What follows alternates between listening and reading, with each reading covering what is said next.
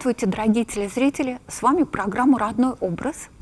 И у нас сегодня замечательный гость Вадим Игоревич Прикладовский, художественный руководитель э, Калужской филармонии. Э, здравствуйте, Вадим Игоревич. Здравствуйте. И говорить мы сегодня будем о музыке, как вы уже догадались, мы только что слушали э, песнопение. Что это за песнопение? Это песнопение «Воскликните, Господи, вся земля».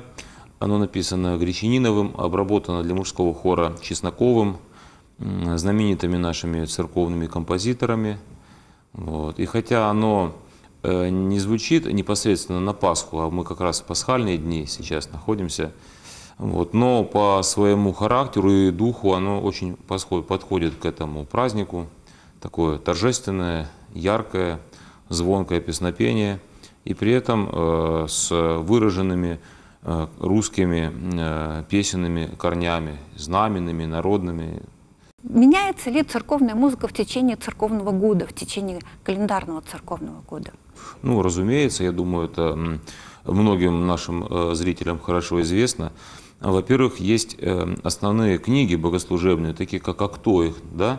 это «Восемь глазов», по которым располагаются песнопения. И каждые 8 недель, стало быть, опять круг этот замыкается, и начинается первый, второй, третий и так далее, до восьмого глаза. Это вот такой как бы малый круг. Потом есть годовой круг. Разумеется, повторяется и песнопение. Ну, я имею в виду тексты, естественно, мелодическое содержание, естественно, это может быть разным. В одной церкви поют так, в другой так. Вот. Но в целом, безусловно, есть вот этот вот большой круг праздников. А, скажите, а кто э, составил вот этот э, богослужебный круг, вот э, это так кто их? Ну, Есть одного автора, автора одно, какой-то конкретный? Одного автора выделить нельзя, ну а кто их считается, что систематизировал Иоанн Дамаскин, знаменитый э, святой нашей церкви, э, гимнотворец и вот большой э, систематизатор – а в то время, когда жил Иоанн Дамаскин, конечно, а, были песнопения немножко другие, то есть я имею в виду, музыка была немножко другая, и система записи музыки была тоже другой, да? Ну, разумеется. А система записи, естественно, ноты вот эти э, появились, наши современные ноты, несколько веков назад, может быть, там 9-10, сейчас точно не скажу. А до этого э, э, ноты, особенно вот в восточной традиции, это точно и до сих пор в Греции, кстати, их записывают так. Они записывали специальными знаками, Называются эти знаки невмы. Э, в русской традиции они стали называться знаменами, от слова знамя, знак. Вот. И эти невмы, они э, иногда обозначают одну ноту, иногда они обозначают э, целую серию нот. Они несут содержательную нагрузку в части акцента, манеры пения там, и так далее. То есть это не просто нота, ну ноты тоже сейчас этих подписывают, там, характер ставят и так далее, а там вот этот знак, знамя, оно обозначает целый комплекс а, вот. То есть каким образом? Манеру исполнения, да? И манеру в том числе исполнения, конечно, да. Так вот, в греческой церкви до сих пор э, жила вот эта запись невменная, и греческие аутентичные хоры и исполнители, они э, поют не по современным нотам, а именно по своим этим книгам, по знакам. А у нас э, знаменный распев вот таким образом, да, записывался? Да. То есть вот знаменами. То есть, То есть да, и название. записанный знаменами, знаменный, совершенно точно. Знаменный распев. Хорошо. Скажите, пожалуйста, а вот э, церковная музыка, она э, имеет прикладной характер? Вот, то есть она только музыка для богослужения, можно или вообще считать музыкой полноценной? То есть э, на, на эмоциональном каком-то уровне, чувственном уровне. Или это все-таки вот, э, музыка только для произнесения молитв и музыкального, э, музыкальных свойств, ценностей она не имеет. Вот как... Первое, что нужно сказать, это э, то, что не совсем правильно говорить о музыке, предназначенной для чего-либо конкретно, как о музыке второстепенной, вторичной, неважной и так далее. Э, музыка, предназначенная просто для слушания публикой, она возникла совсем недавно, несколько там, сотен лет назад. Ну, может быть, начиная с эпохи Возрождения, вот где-то э, даже чуть позже, вот новое время, э, вот до тех пор музыка обязательно служила каким-то целям. Это древние прекрасно понимали, э, что, скажем, есть музыка для войны, которая должна э, возбуждать мужественный дух воинов, должна их организовывать, побуждать каким-то активным действием против своего э, врага. Вот. Есть, есть гимны богам, которые должны людей расположить определенным образом, которые должны помочь им установить некий контакт вот с, их, с высшими существами. Есть, ну, очевидно, музыка для перов, да, вот. И никому не пришло бы в голову э, взять музыку для перов, играть без яств, без вина, без трапезы, вот, а просто сесть где-то вот в зале концертном и вдруг начать это играть. Нет, ну что вы, она существует именно в таком, вот, бытует вот в этих рамках. Вот. И в этом ничего плохого нет, это очень хорошее явление. И на самом деле э, такая музыка может гораздо полноценнее. Вот. Э, и вовсе это не, некая вторичность, конечно, так нельзя сказать. А что касается эмоционального наполнения, э, ну, этот вопрос очень тонкий. Э, музыка церковная совсем не должна быть лишена эмоций, это мое мнение. Но дело в том, что эмоции это присущее человеку неотъемлемое его качество, да, его черта. Вот. И сама по себе она не является плохой, греховной или так далее. Это так же, как его физический состав и его э, духовное состояние, эмоция. Э, Чехов вот сказал да, знаменитую фразу, что в человеке должно быть все прекрасно. Так вот эмоции тоже должны быть прекрасны. И э, что же будет их делать прекрасными, как не искусство, которое прежде всего оно обращается к эмоциональной все-таки стороне человека. Вот. Но, с другой стороны, конечно, эти эмоции должны быть в определенных рамках.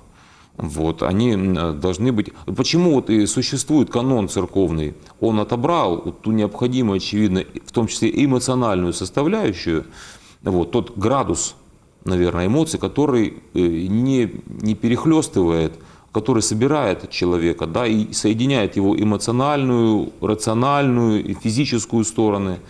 Вот. В этом смысле, конечно, эмоция вот э, важна и важна как организованная эмоция. И при этом я считаю неправильно говорить о том, что э, музыка богослужебная – это просто вот э, некий, некий комментарий или некая просто фон, который угу. звучит. Сейчас многих и телевизор можно назвать фоном. Включили телевизор весь день у кого-то в квартире работает. Знаете, наверное, да, ну, да таких да. людей, которые просто уже не могут без этого фона. Постоянно какой-то должен быть шум радио или что-то включено. Нет, конечно, так нельзя подходить. Просто мне, по-моему, у Гарднера такой был знаменитый исследователь, известный очень э, церковного пения. Он в эмиграции, правда, умер. Вот. Он, он, по-моему, ему принадлежит фраза, что просто пением совершается богослужение, понимаете, в церкви. Mm. Вот. Ну, вот есть, пение как бы, это и есть да. богослужение. Тут нельзя разделять. Вот мы все время хотим как-то mm вот раздробить. Это, наверное, вот признак нашего современного сознания, которое mm все пытается раздробить. Древние люди по-другому это воспринимали, гораздо более целостно. Вот. А мы дробим. Так вот, э, пение не комментирует, конечно. Пение есть богослужение, по Ну, знаете, счету. даже есть такое выражение, душа поет у человека. Вот, вот, вот, вот что-то здесь, да. Душа Поэтому тут тоже нельзя говорить о вторичности. Тут именно вот это сочетание э, ритма, мелодии, текста, вот этот синтез, вот он важен. Так что я бы не говорил о вторичности какой-то э, церковного пения. Это слишком э, такой рационализирующий и упрощенный подход. Понятно. А вот есть некоторая связь между народным пением вот той или иной страны и церковной музыкой?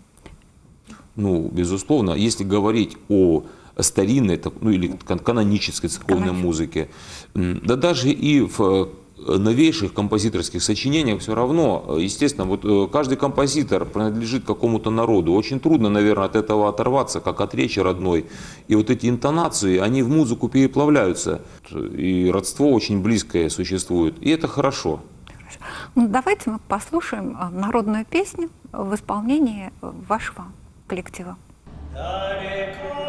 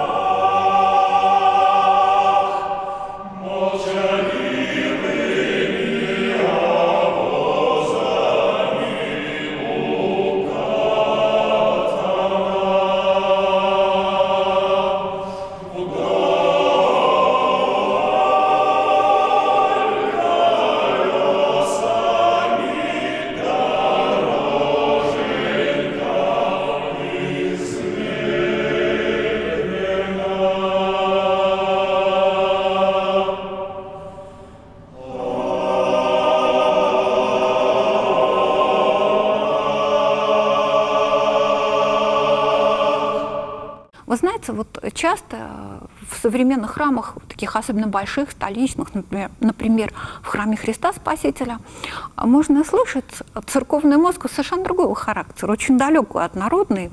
Можно слышать пение бельканта, солистов, вот как бы э, хоры, э, то есть концерты, церковные такие концерты. Откуда появилась такая традиция, откуда она пришла? Ну, с Запада пришла, что уж тут ответ греха на поверхности, да? да, что греха таить.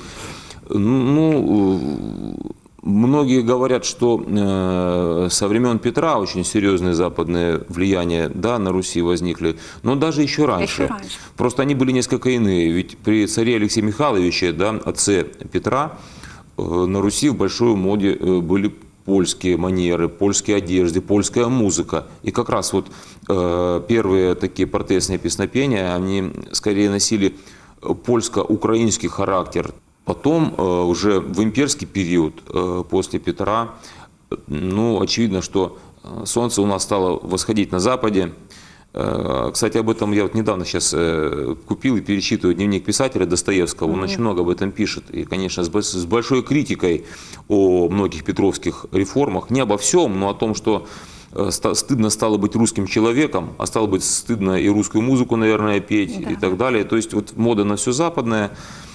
Тогда считались лучшими и наиболее продвинутыми музыкантами итальянцы в Европе. Стало быть, нужно взять оттуда. Ну, Березовский, и, Бортнянский. Да, да, они учились э, да, в, Европе. в Европе. Мы уже знаем, что тот же Березовский учился у одного учителя с Моцартом. В Болоне. Да, в Академии музыкальной. Да, музыкальной. И э, мода на вот это итальянское пение, она была, была довольно долго. Ага. Потом мы испытали э, влияние немецкого хорала, и так далее. И вот это все тянулось э, вплоть до последней четверти XIX века, когда наступил какой-то такой русский ренессанс. Наступил он не только в музыке, он как да. и в живописи, и в литературе, и в других э, видах в архитектуре. Угу. Вот. А... Царствование Александра III, Николая II, вот это э, Да, наступает. примерно в эти времена. Ну, конечно, процесс подспудно раньше подготавливался раньше подготавливался. Но тем не менее, а, а в композиторах не только церковных, ведь, скажем, тот же Мусорский, он не случайно появился, вообще могучая кучка с таким своим отношением вот а, к почве, а, к русской, да. Странно, что в Петербурге, не в Москве, казалось бы, в таком русском ну, да. городе, а именно в Петербурге возник вот этот музыкальный кружок. Но если говорить о церковной музыке, то это именно в Москве э, такая мощная школа возникла. Э, композиторов, э, которые были связаны с синодальным хором. Вот. Это и э, Смоленский, это Хрегин был Орлов, это Чесноков, это Костальский. Я вне временного порядка называю. Это, безусловно, и Рахманинов, который написал, может быть, не так много духовных песнопений, но у которого церковные э, мотивы э, пронизывают и не церковные сочинения, а фортепианные концерты, скажем, или последнее его завещание, это музыкальные симфонические танцы, в которых звучит воскресный э, тропарь «Благословен Еси Господи», в а третьей части. Давайте послушаем сейчас музыку Чеснокова. У нас есть ваша запись. Хорошо, только это э, обработка Чеснокова киевского распева «Воскресение Христово видевшее».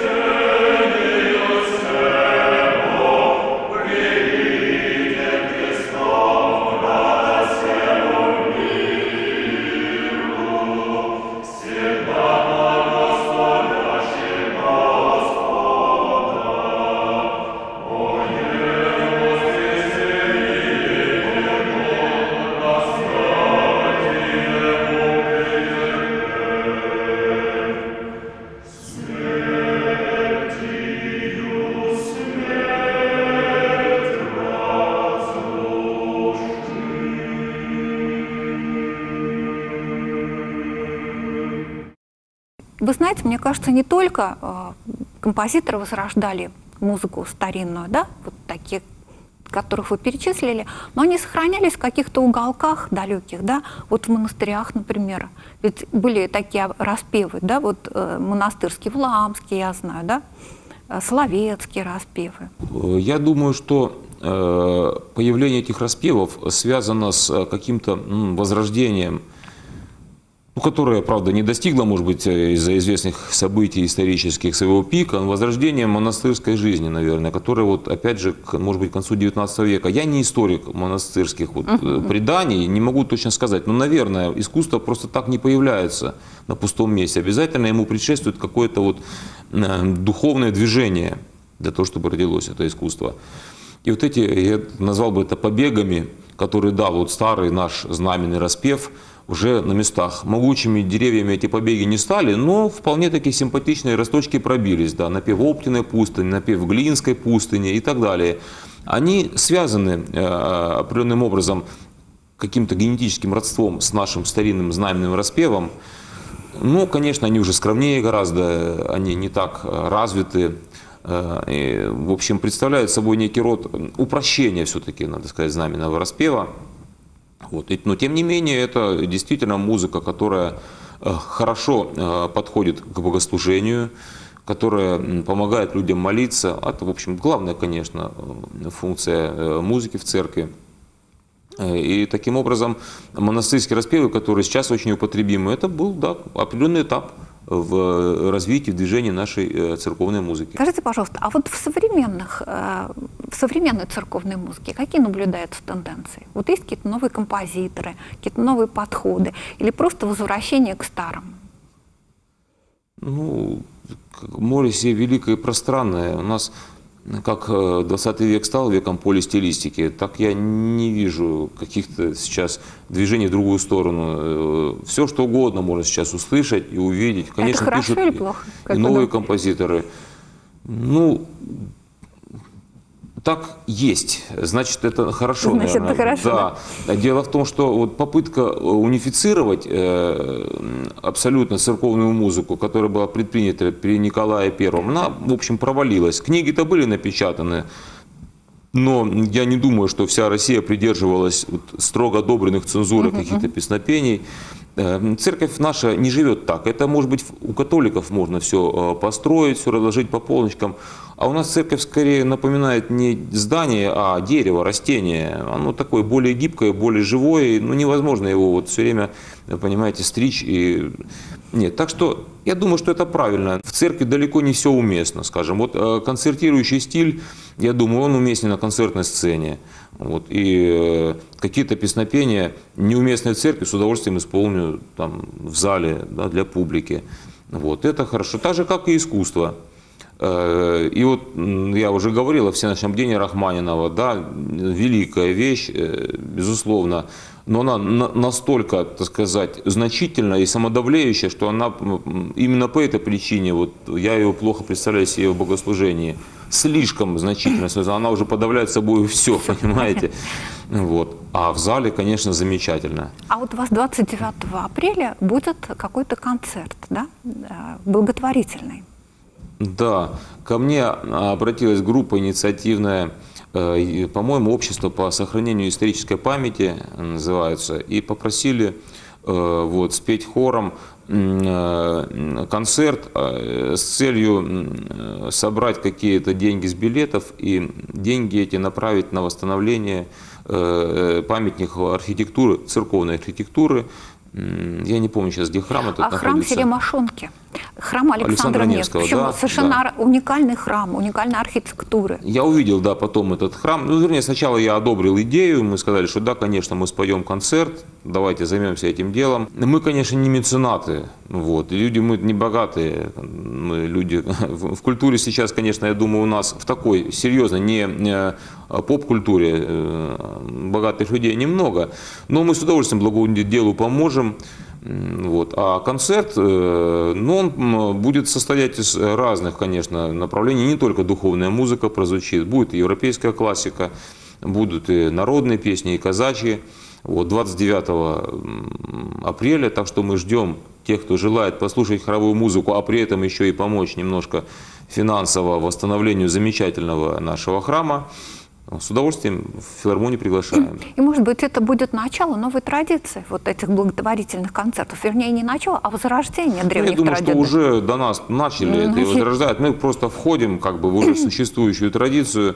Вот. И другое дело, что мы готовы продолжать вот эту традицию и помогать таким добрым делам и начинаниям. Ну, вообще, вот в 19 в начале 20 века в развитии русской музыки, в финансовом развитии большую роль играли благотворители. Частная опера Савы Морозова, да, барон фон Дервис, который финансировал музыкальное общество, да, а, фон Мек, который помогал Чайковскому и так далее. И вот у нас на Калужской земле тоже были такие э, замечательные благотворители. Мы увидим сейчас фильм небольшой фильм о калужском городском главе Ципулине. Ну, а мы с вами тогда попрощаемся. Да? Всего доброго. Поблагодарим нашего гостя. Большое спасибо, Вадим Спасибо вам. Игоревич, что выбрали время в своем жестком графике и пришли к нам в студию.